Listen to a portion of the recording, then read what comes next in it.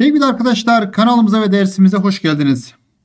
Bu dersimizde sizlere 8. sınıflar Arapça dersimizin 1. dönem 1. sınav sorularının cevaplarını yapacağız. Birinci sorumuza başlayalım. Birinci sorumuzda aşağıdaki cümleleri oluş sırasına göre numaralandırınız ve Türkçe anlamlarını yazınız şeklinde. Burada neye dikkat edeceğiz? Saatler konusuyla ilgili. Saatleri doğru bilen arkadaşlarımız bu soruya doğru cevap verebilir. Ümmi annem tücehhizu hazırlar. Neyi? Tücehhizül fatura kahvaltı hazırlar. Ne zaman? Fis saati tasiati ve nıs. Bakın tasiya 9 demek. Nısıf da buçuk demek. O zaman buraya şöyle yazalım. 9 30'da annem kahvaltıyı hazırlar.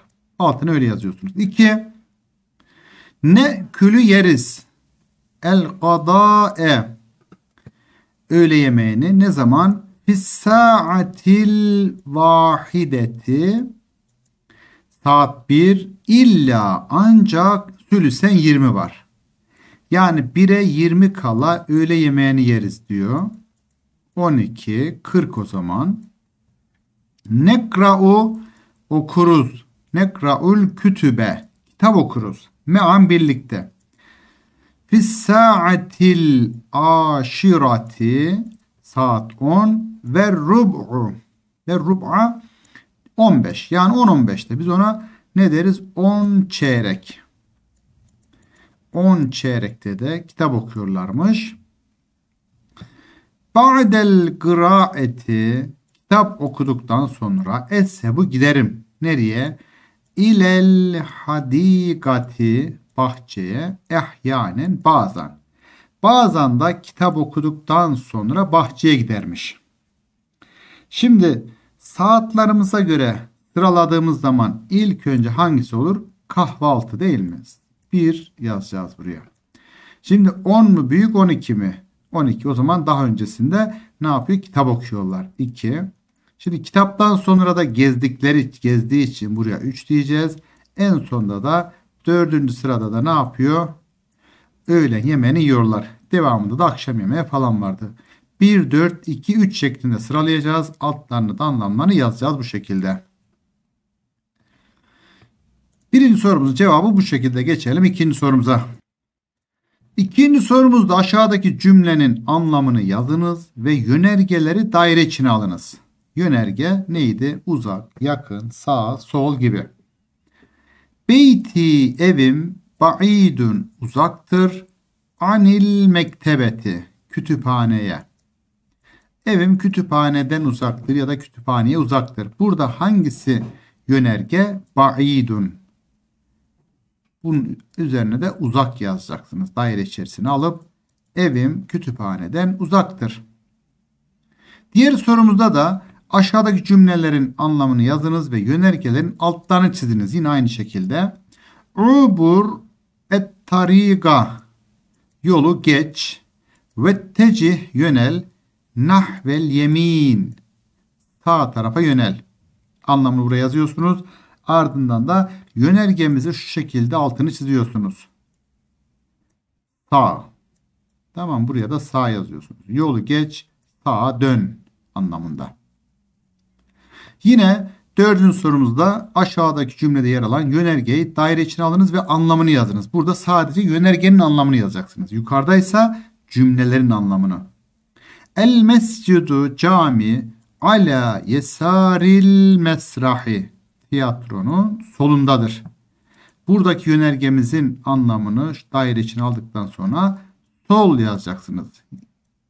Yemin sağ, yesar sol, ba'id uzak, garip var bir de yakın. Bunlar bu şekilde sizlere gelecek. Çok kolay sorular. Buradan eminim birinci sorumuzda dahil şu ana kadar 40 puanı almış oldunuz. Kitabımızda da bunları bol bol testlerini çözdük zaten. Devam edelim 5. sorumuzla. Aşağıdaki cümlede yer alan bağlacı bulunuz ve daire içine alınız. Bağlaç neydi? Ve, veya, ya da gibi kelimelerimizdi. Şimdi burada İstanbul neymiş? Medinetün cemiletün ve tarihiyetün. İstanbul güzel ve tarihi bir şehirdir. Bakın burada ne geçti? Ve. Bak şu bağlaçtır. Şayet sizlere şu şekilde anlamı Türkçedekinin aynısı ve. Buraya ev de gelebilirdi. Em de gelebilirdi. Bunlar da nedir? Yine bağlaçtır veya ya da anlamına gelen öğretmen ya da doktor olacağım, eve ya da çarşıya gideceğim gibi bunlar da bağlaç. Üç bağlacımızda beraber görmüş oldunuz. Hangisi gelirse artık bulup anlamını yazacaksınız. Bu da çok kolay bir soruydu. Aşağıdaki cümlenin anlamını yazınız şimdi. Anlam sorusu. Kim konuşuyor? Ahmet. Ahmet Efendi bakın ne diyor. Li enne çünkü eğitim ehemmü şeyin önemli bir şeydir. Fi hayatina hayatımızda bin nispetili bana göre. Anlamı şu şekilde diyeceksiniz. Ahmet diyeceğiz buraya. İki nokta üst üste koyacağız. Çünkü eğitim bana göre çünkü bana göre eğitim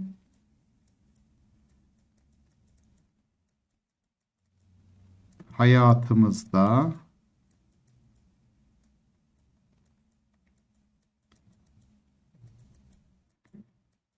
önemli bir şeydir. Türkçe yazmak bayağı bir uzun oldu. Önemli bir şeydir. Bunu bu şekilde cümlemizin altına yazdığınız zaman tam puan alacaksınız. Ahmet çünkü bana göre eğitim hayatımızda önemli bir şeydir. Burada bin nispetili bana göre demektir. Şurası bana göre. Tamam. Evet 6'da 6 şu anda 60 puan cepte. Devam edelim. Geldik 7. sorumuza. Aşağıdaki saatlerin kaç olduklarını yazınız. Saatler konusu çok kolay bir soru. Es-sa'atu demek zaten saat demek. Sayıları bildiğiniz zaman vahidun, itnani, telâse, erba'a, hamse, sitte, sev'a, semaniye, tis'a, aşara, ehad aşara, itne aşara. Şimdi aşara on demek. Ancak burada sıra sayıları kullanır. Es-sa'atül aşiratü. Bakın. Burada saat aşiratü sıra sayısı 10. Es-sa'atül aşiratü ve rub'u. Saatler konusunda ve geçiyor demektir. Tamam mı? Bak V'yi gördüğünüz zaman da geçiyor diyeceksiniz. Şimdi buraya bakalım. Saat 10 normalde. Ama rub'u diyor. Rub'u çeyrek demektir. 15 demektir. O zaman saat 10 15 yani 10-15 geçiyor. Biz 10-15 geçiyor değil de onu çeyrek geçiyor deriz değil mi? Ama yazılışı bu şekilde. Diğerine bakalım. Es-sa'atül aşiratü ve sülüsü. Yine burada gördüğünüz gibi V var. V geçiyor demekti. Burada yeni bir kelime sülüs ise 20 demektir. Türkçe'de mesela 20 dedim ama Arapçada sülüs deniyor. Saat yine 10 ama onu kaç geçiyor? 20. 10, 20. İleride öğreneceksiniz. Belki sınavda gelirse yine söyleyeyim. Sınavda sevgili arkadaşlar V yerine illa gelirse o da var demektir. Yani diyelim bu şekilde olsaydı burada illa olsaydı rubu'an buradaki ayında yukarı doğru şekilde olacaktı. Es-saatül aşiratü ve rubu saat 10 ama rubu çeyrek var. O zaman 9.45 yazacaktık. Diyelim burada saatül aşiratu illa yazsaydı ve sülüs olsaydı sülüsen olurdu o zaman. Saat 10 ama 20 var. O zaman 9.40 diye yazacaktık. Yani geçiyor ve var illa. 8. sorumuzda yine aynı şekilde saatler. 8. sorumuza geldik değerli arkadaşlar. Aşağıdaki saatlerin boş bırakılan kısımlarını yazınız. Yukarıdaki saatler bölümünden de yararlanabilirsiniz buraya yazmak için. Bakın burada saatimiz Arapça olarak 2.20. Değil mi? Bu şuraya da 0 koyacağız. 2.20. Türkçesi nedir? Saat 2'yi 20 geçiyor. Bir kısmını kendi vermiş. Es-sa'atüs saniyetü. Bak buraya kadar nedir? Saat 2. Ve gelmiş ve neydi? Geçiyor demekti. Ve geçiyor. Kaç geçiyor? 20. 20 neydi? Ethülüsü. Bakın şu şekilde. Ethülüsü. Saat 2.20 nokta 20 geçiyor. Bu şekilde yazabilirsin. Es-sülüs ifadesi 20 geçiyor demektir. Buraya geçelim. Es-sa'atü Es-saniyetü nedir? Saat 2 yine. Yine V gelmiş burada. V geçiyor demektir. Yukarıdaki saatimize bakalım. 2 30 Türkçesi nedir? 2.30. Saat 2.30 demeyiz de biz buçuk deriz. Buçuk neydi Arapçada? En nısf. Nısıf yarım demek. Buçuk demek. Ve nısfı dediğimiz zaman saat iki buçuk olacak. Siz buraya ve nısfı yazacaksınız. Bir de yazalım. Bu yeni bir kelime. Bakın elif, lam yapıyoruz okunmuyor. Nun için bir diş yapıyorsunuz. Sat yapıyorsunuz buraya. Daha sonra F harfimizi yazıyorsunuz. En nısfı şeklinde yazdığımız zaman saat iki buçuk demiş oluyoruz. 8'de 8 80 puan cepte. Devam edelim. 9. Senaryolarımızın tamamında iki tane Arapça cümle yazmamız isteniyor. Kolay cümlelerden iki tanesini yazın diyor. Şimdi biz bakalım burada ne yazacağız. Okul buraya yakındır. Okul neydi? Öncelikle onu yazacağız. İlk kelimemiz neyse onu yazıyoruz. Bakın. El medresetü şu şekilde El medresetü okul demektir. Bunu yazdık. Ne diyor? Yakındır. Bak okul yakındır. Garibetün diyoruz. Çünkü medrese müennes olduğu için garibetün.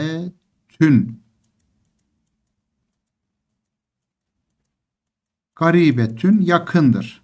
Bir de buraya demiş. Bak buraya. Onu da altına yazalım. Min hüna şu şekilde min hüna buraya yakındır. Bakın bu şekilde yaptığımız zaman şuraya bir de yazalım görün. El elif ayrı yazılıyor. Lamı yazıyoruz. Mimi yapıyoruz. Dal yapıyoruz. El medra se tü hareke koyuyoruz. El medra se tü ne dedik? Garibetün. Gari. Y'ye bir diş, B'ye bir diş, T yapıyoruz. Gari be tün. Min hüna yani buraya yakındır diyeceğiz. Bakın o da şu şekilde oluyor. Min e a anlamı katıyor. Min hüna şu şekilde okul buraya yakındır.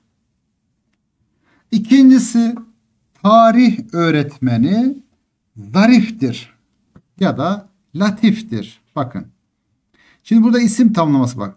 Tarih öğretmeni. Önce öğretmen sonra tarih yazacağız. Sonra zariftir yazacağız. Yukarıda ise okulu bir yazdık. Yakındır iki. Buraya üç yazdık. Kural bu şekilde. Tarih öğretmeni. Öğretmen neydi? Erkek öğretmen olarak düşünelim. Muallim. Kadın olsaydı muallimetün diyecektik. Muallimü öğretmen demek. Tarih. Muallimut ta çekiyor. Rihi. Muallimut tarihi. Latifun. Bakın şu şekilde. La latifün. Tarih öğretmeni latiftir, zariftir, hoştur, iyidir anlamında. Arapça yazılarda şuna dikkat edin. Bunları nasıl yazdık? Hangi kurala göre? Arapçada elif, dal, zel, ra, z ve vav harflerimiz kendisinden sonra gelenlerle birleşmez. Neden? Onlara küsmüş. Kural böyle. Bakın mesela med dal ayrı, ra ayrı, elif ayrı, ra ayrı, ra ayrı. Görüyor musunuz? Elif, dal, zel, ra, z, vav yaptığımızdan ayrı yapacağız. Birinci kural bu. İkinci kural şu. Elif, dal, zel, ra, z, vava ilaveten t ve z harflerimiz başta, ortada, sonda yazılırken asla bunların şekli değişmez. Kural 2 bu. Üçüncü kuralsa harfler başta ve ortada yazılırken kuyruk kısımları, uzantıları gider. Sonda yazıldığı zaman harfler aslına döner. Örnek sin harfimiz bak başta yazıldığı zaman iki diş yaparız. Ortada yazıldığı zaman yine iki diş yaparız. Sonda yazıldığı zaman aslı neyse onu yazarız. Normalde sin harfimiz nedir? Şu şekilde. Kuyruk kısmı dediğimiz kısım yani fazla olan kısımdır. Dolayısıyla sinin kuyruk kısmı gidiyor. İki dişini yazdınız başta ortada. Sonda ise sini olduğu gibi yazdınız. T harfimiz ise örnek başta da aynı yazılır. Ortada da aynı yazılır. Sonda da aynı yazılır. Bunun şekli değişmez. Bu üç kuralı bildiğiniz zaman Arapçanın yazılışını öğrenmiş oluyorsunuz. Mesela bakın nun sonda böyle yazılmış. F bakın böyle yazılmış. H böyle yazılmış. Değil mi? Sonda harflerimiz aynı yazılıyor. Evet sevgili arkadaşlar dersimizin sonuna geldik. Bu kitabımızın konu anlatımlarını kanalımızdan izleyebilirsiniz. Hepinize tüm derslerinizde ve sınavlarınızda başarılar diliyoruz.